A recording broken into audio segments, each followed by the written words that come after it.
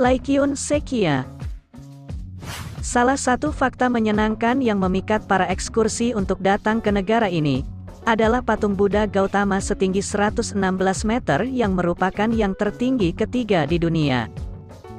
Patung tersebut diletakkan di atas singgasana setinggi 13,5 meter, yang terletak di desa Katakan Taung, dekat Moniwa, Myanmar. Ini adalah konstruksi Buddha Gautama dengan emas yang terlihat sangat megah. Ada juga lift di dalam patung bagi pengunjung yang ingin mencapai puncak untuk menikmati pemandangan kota yang indah.